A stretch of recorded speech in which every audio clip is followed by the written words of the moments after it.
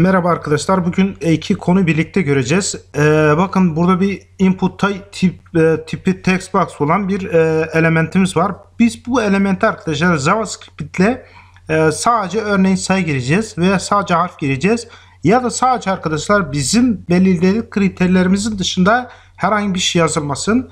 Ve CSS olarak da arkadaşlar bugün size güzel bir şey göstereceğim. Pek çoğumuzun kullanmadığı bence bir yöntem. Onun için başvurdum. Bakın arkadaşlar beni bugün benim bir text box'ım var. Bir placeholder var. Dikkat ederseniz arkadaşlar renk placeholder rengi uymuyor. Ve arkadaşlar dikkat ederseniz yazarsa yazdığımız zaman ben bu imleci de arkadaşlar renklendirmek istiyorum. Şimdi arkadaşlar bak placeholder'ı nasıl renklendiriyoruz gelin onu görelim arkadaşlar. Ben bir input input hazırladım. Bakın burada input hazırladım ve input için arkadaşlar bir CO'da kullanacağız. Input diyoruz. Neydi? WebKit arkadaşlar. Burada neydi? Ne, neydi? WebKit'in içindeki input arkadaşlar neydi?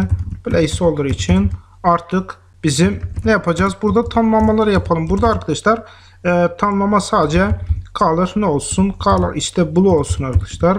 Bir ne yapalım? Bir sayfamızı bir yenileyelim bakalım arkadaşlar.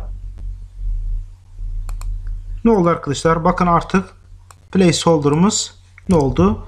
Mavi oldu arkadaşlar. Bir önceki geriydi. Burada arkadaşlar artık ne yapabiliriz? Bakın biraz opasitesini de ne yapabiliriz? Örneğin 0.5 verebilirim. Kontrol yapalım. Bir bakalım. Bakın arkadaşlar. Tamam 0.5 yapalım. Ve isterseniz hatta ne olsun? 0.3 yapalım. Bakın arkadaşlar sayı yeriniz bu şekilde çok süper oldu. Yani bizim burada anlatmak istediğim arkadaşlar buradaki rengi şeyi falan çok önemli de önemli olan yöntem. Bakın placeholder'ı arkadaşlar biz değiştirdik. Şimdi bir de arkadaşlar benim yapmak istediğim bir şey daha var. İsterseniz burada border'ı da kaldıralım. Gerçi burada bir border'ı da kaldıralım. Daha güzel olur bence arkadaşlar. Burada border'ından yapalım. Ctrl S yapalım. Bakın border da gitti. Şöyle bir şey arkadaşlar. Aslında yazı birazdan da daha soldan e, biraz uzaklaştırsa text indent text indent komutumuz var arkadaşlar bunun için. Şimdi text indent komutumuz mesela arkadaşlar 5 piksel dediğim zaman şöyle 5 piksel dediğim zaman neydi e, e, obje üzerinden açıklayalım. Element üzerinden. Bakın arkadaşlar burayı ne olur? Burayı referans alarak nereden başlayacağını belirtir. Ben buraya 5 piksel yazdığım zaman arkadaşlar buradan başlayarak 5 piksel soldan sağa gidiyor. Ne yapıyor arkadaşlar? 5 piksel sonra başlıyor. Ben şimdi bunu örneğin bunu arkadaşlar biraz çok abartılı bir şey söyleyeyim. 25 piksel verelim. Bak biraz daha iyi anlarsınız. Bakın arkadaşlar ne oldu? Bu şekilde bir oldu. Bakın neredeyse arkadaşlar bizim placeholder'ımız ortada. Hatta placeholder'ı arkadaşlar biz 35 yapalım ki biraz daha hoş olsun. Pardon burada Evet sayfamızı yenileyelim. Tamam arkadaşlar. Şimdi iyi. Benim yapmak istediğim arkadaşlar bir de bu imlecin rengini değiştirmek istiyorum. Bakın şu anda yanım sönüyor. Onu nasıl yapılıyor? Gelin görelim arkadaşlar. Bunun için ne kullanacağız? Bizim input'unu arkadaşlar bakın input'un nesini değiştireceğiz. Bakın ne diyeceğiz? Placeholder diyeceğiz ve neydi? Show. Bir arkadaşlar. Artı buna da bir renk verebiliriz. Bunun için arkadaşlar ne renk verebiliriz? Örneğin ne olsun? Burada e, çok farklı bir renk olsun ki görebilelim. Red yapalım arkadaşlar. Ve bakın ne olacak? İlk başlar başlamaz arkadaşlar. Şimdi bakın tıkladığım anda bakın ne oldu arkadaşlar? Rengi imlecimin rengi kırmızı oldu. Bunun için arkadaşlar isterse bunu tam tersine çevirerek de ne yapabiliriz? Bakın kontrol S yapalım. Burada arkadaşlar bakın hem yazı kırmızı olacak. Şimdi arkadaşlar hem de imleç kırmızı olacak. Bakın ne oldu? Hem imleç hem kırmızı oldu. Ben bundan sonra arkadaşlar yapacağım şey neydi?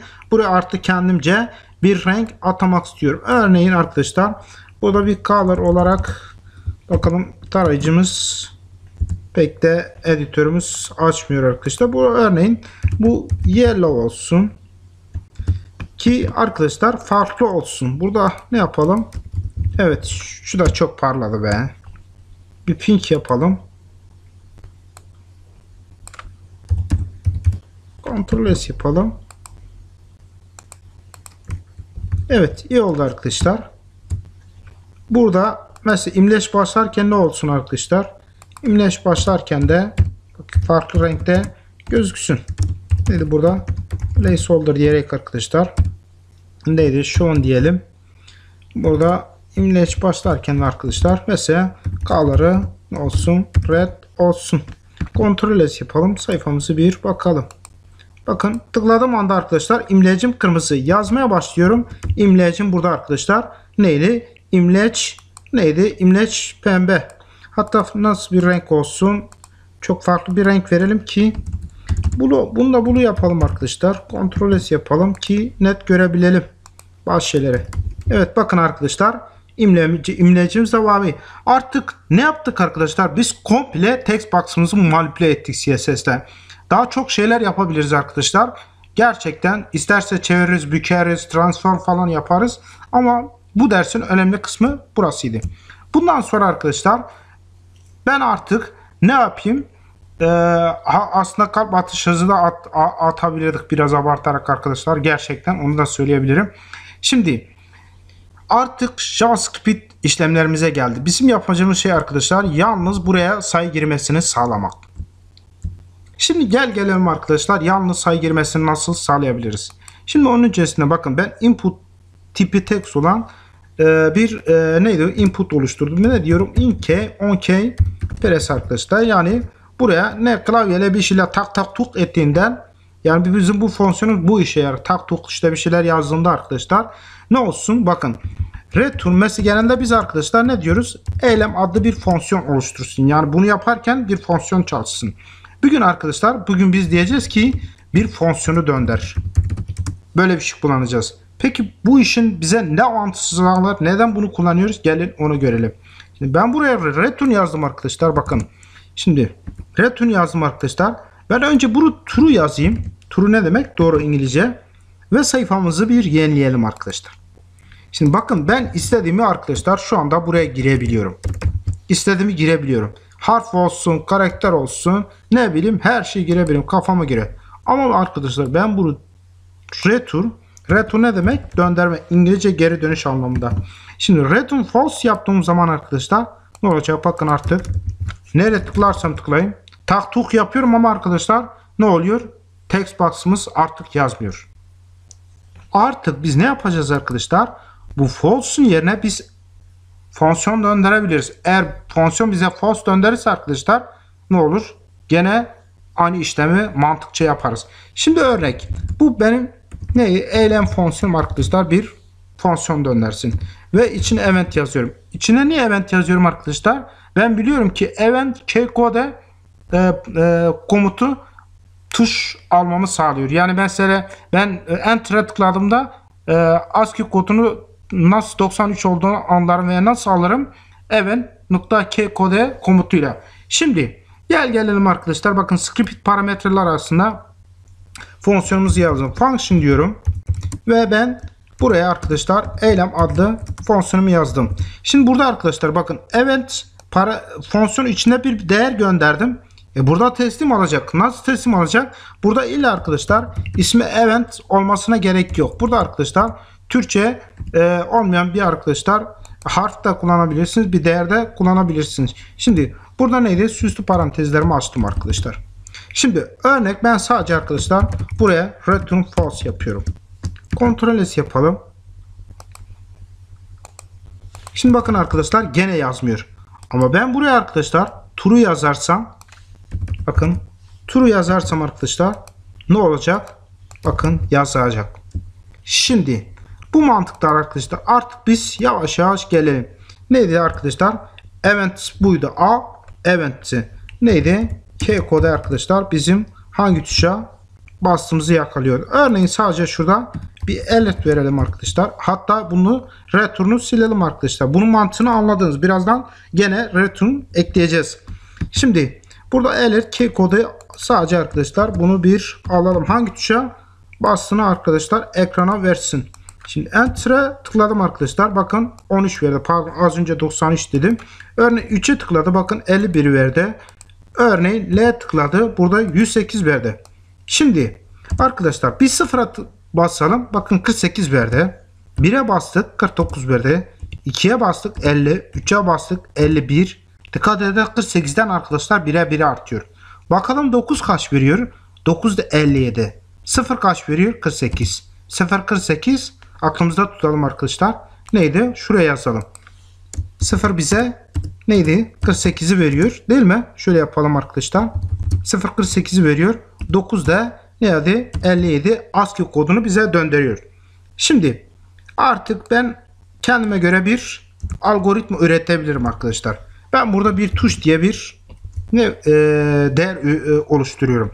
Ver diyorum ki arkadaşlar neydi bu a nokta k kode. Şimdi if diyeceğim arkadaşlar. Bu tuşum ne olacak arkadaşlar? Büyüktür 58. Niye 58 arkadaşlar? Çünkü 9 57 ben bir üstüne alıyorum böyle de 9'u da içine dahil ediyorum. Ve diyorum arkadaşlar neydi?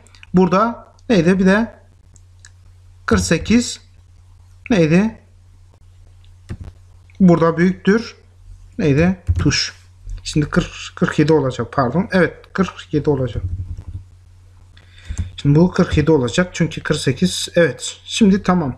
Eğer böyle bir şey olursa arkadaşlar bu ne demek? Bu demektir ki arkadaşlar sayılara bastı.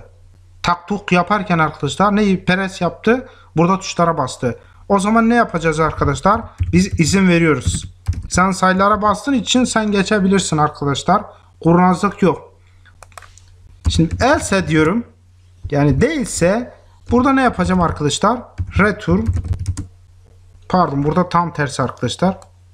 Bir dakika return. Gerçi çok fark etmez arkadaşlar. Bazen mantık hatası yapabiliyoruz. Biz de insanız. Ctrl S yapalım. Şimdi sayfamızı bir yenileyelim arkadaşlar. Bakın. Pardon harf giriyorum kabul ediyor. Bu da kabul ediyor. Bir bakalım arkadaşlar. Sebep neyi? Gelin onu görelim. Çok da sıkıntı yok. Tuş 58'den büyükse arkadaşlar return true, return false diye e, bir neden bunu yapmış arkadaşlar bir bakalım. Burada arkadaşlar neden? Çünkü biz burada return'u tekrar eklemedik. Şimdi Ctrl S yapalım arkadaşlar. Bakın harf alıyor arkadaşlar. Rakam yazalım. Bakın rakam kabul etmiyor. Burada arkadaşlar demek ki bizim mantığımız tam tersi. Burada arkadaşlar bunu false yapacağız. Bunu da true yapacağız arkadaşlar. Ctrl S yapalım. Sayfamızı bir yenileyelim. Bakın arkadaşlar harf kabul etmiyor. Yalnızca sayı kabul ediyor. Burada arkadaşlar önemli olan ne? Buranın arkadaşlar bu fonksiyonun true mu false döndürdüğü önemli. Yani eğer false döndürürse arkadaşlar ne yapacak? On key press arkadaşlar içine bir şey yazamıyoruz. Bakın tekrar edelim. Buraya false yazalım. Ctrl S yapalım. Bakın yazıyorum da babam yazıyorum ama bilgisayar bana cevap vermiyor. Ama ben arkadaşlar ne yazdım? Buraya true yazarsam Ctrl S yazarsam artık bu bana neydi? Bu şekilde yazma izni veriyor. O zaman ben ne yaptım arkadaşlar? Böyle bir kafama göre bir mantığıma göre bir böyle bir fonksiyonum e, ürettim, oluşturdum.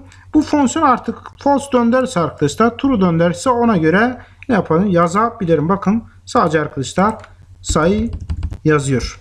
Şimdi bir de arkadaşlar kurnazın biri gelebilir arkadaşlar. Kendini çok kurnaz zanneden bazıları var. Şimdi geliyor arkadaşlar. Burası mesela örneğin bak harf kabul etmiyor. Ben buraya örneğin Dlos sürücü arkadaşlar. Ben yazdım. Kopyaladım. Şöyle kopyaladım. Kestim ve kopyaladım. Geldim yapıştırdım. Kabul etti. Ben arkadaşlar bu çok düşünen adam benim programımı kandırdı. Peki ben bunu nasıl arkadaşlar engelleyebilirim? JavaScript'te artık arkadaşlar bana çok önemli bir kolaylık bunun için sağlıyor. Diyor ki arkadaşlar on pass yani ne olacak yapıştırdığında ne yapacağız arkadaşlar? Return az önce kullan ne kullandık? Return pardon şurada tırnaklarımız çalışmıyor. Return arkadaşlar neydi? Post diyecek. Bu kadar basit arkadaşlar. Böylece ne de önlem aldık. Böylece arkadaşlar kullanıcı yapıştırırsa ona da önlem aldık. Şimdi bakın arkadaşlar harf yazıyorum. Olmuyor. Rakam yazıyorum arkadaşlar. Yazıyor. Geldi arkadaşlar bakın. Şurada neydi? Dolu sürücü kopyaladı geldi. Yapıştırdı arkadaşlar. Bakın şimdi kabul etmiyor. Çok kurnaz üyemiz kullanıcımız arkadaşlar. Böylece Cumburluk denizini boylamıştır. İşte arkadaşlar bizim de dersimiz burada bitmiştir. Umarım arkadaşlar biraz e, anladınız. Dersi uzattım ki arkadaşlar hem eğlenceli olsun hem ne fazladan şeyler öğrenmek. Belki arkadaşlar gerçekten dersin baş, başına sadece bakarak bu dersi izlemeyenler olacaktır. Bence çok şey kaçırıyordur. Hani ben bunu biliyorum diyecektir ama dersi gerçekten izlediğinde ders umarım hoşuna gidecektir. Özellikle arkadaşlar bakın biz bu derste imlecin rengini bile değiştirdik. Bakın placeholder'ın e, rengini değiştirdik. Bakın imlecimiz burada arkadaşlar kırmızı, mavi yanıyor arkadaşlar. İşte arkadaşlar bakın ne yaptık başka? On paste e, e, kullanıcı e, yap copy paste yaptığında yapıştır Türkçesi yapıştır. İngilizce konuşmayalım. Şimdi kullanıcı yapıştır yaptığında buna da önlem aldık. İşte arkadaşlar bugünkü dersi bu kadar bence. Burada arkadaşlar artık sizin şartınız neyse bakın şartınız neyse ona göre return true ona göre return false yaparsınız arkadaşlar. Burada nereye return false nereye true gelecek bence çok ezberlemenize gerek yok arkadaşlar. Hepimiz yani bizim kafamız bilgisayar değil. Deneme yanılmayla arkadaşlar bazen bir şeylerde öğrenmek bence daha güzel ve bu sizi başka şeylere arkadaşlar öğrenmeye de iter. Örneğin siz internette bir konu araştırıyorsunuz. Başka şeyler de öğrenebiliyorsunuz. Arkadaşlar işte bazen deneme yanılma bence iyidir. Çok da konuşmayalım. Dersimiz arkadaşlar burada bitmiştir. Hepinize kendinize iyi bakınız.